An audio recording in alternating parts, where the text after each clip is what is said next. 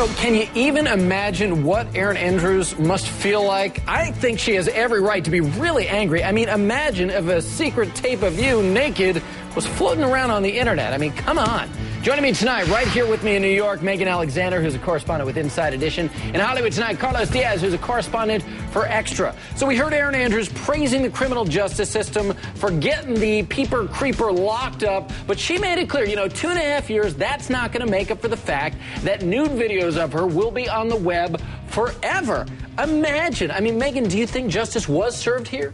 She came out swinging when she said, look, it's not over. This will forever follow me. The internet, you know, you think about the way you can access video and pictures nowadays, it's always out yeah, it there. doesn't go away. Exactly. She came out swinging and she said, look, I'm a daughter. You have daughters. Think about how I feel. I thought that was interesting to bring that comparison together. And then just to boldly say, I'm going to do what I can to speak on behalf of other victims who aren't famous ESPN reporters Yeah. and will never get the voice that she now has. Yeah, Carlos, she seemed pretty honked off at the fact that this guy is not doing as much time as it seems like he should be doing. What do you think?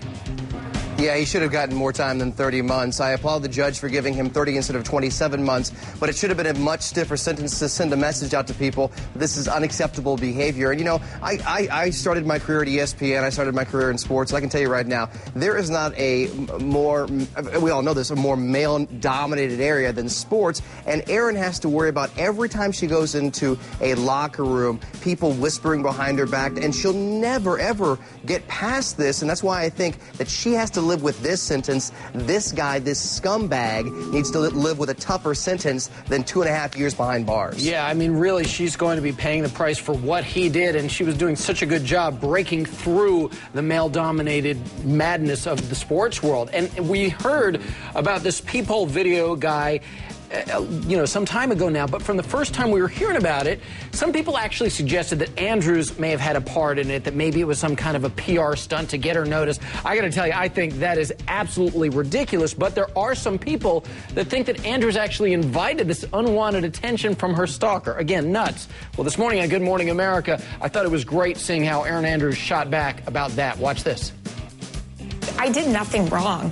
And I think what is the hardest thing is that I still have to say that to people. I still had to say that yesterday on the court steps. You know, how can you do this? Or, you know, how did you feel it was okay to go on with your life?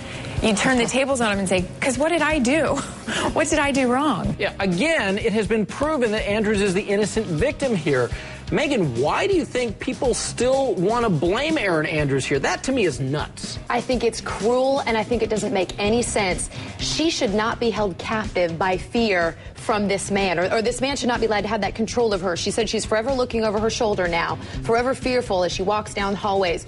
She should be allowed to do whatever she wants. I think people want to criticize. Carlos brought up the male dominated uh, sports world. Again, we're seeing some breakthroughs, but I think it's just people that simply want to comment. I don't think there's an argument here that she brought it on herself. Well, hopefully she'll get to start to feel some freedom when she joins up with Dancing with the Stars. That's the next big move for Erin Andrews. She'll be competing on the show. And when we first learned that she was going to be on Dancing with the Stars, a lot of people actually were pretty surprised that she would put herself out there while she's already been under so much scrutiny. I mean, she's going to be judged every single week on that show. Well, after her stalker was sentenced, you gotta watch what she had to say about moving on with her life. This is great. Now, I want to smile. I want to live my life. I don't want to be a victim anymore.